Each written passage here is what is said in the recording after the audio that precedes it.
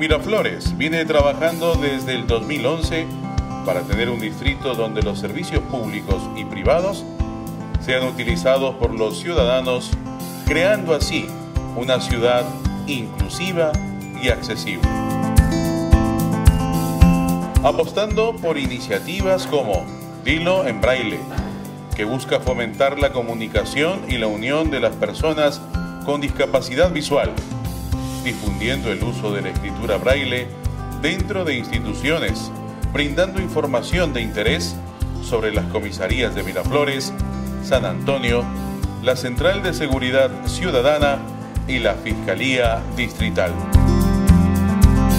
Además, cuenta con una sala inclusiva en el Museo de Sitio de la Huaca Pucana, donde las personas con discapacidad visual pueden tocar las réplicas de objetos prehispánicos como cerámicas, textiles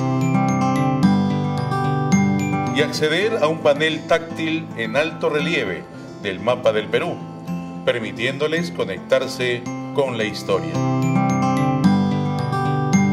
También se hizo posible disfrutar del séptimo arte, gracias al ciclo de cine inclusivo en el Centro Cultural Ricardo Palma, donde se proyectan películas con audiodescripción, sistema que permite escuchar una narración detallada de las imágenes para las personas ciegas y que a la vez muestra el guion subtitulado para las personas sordas.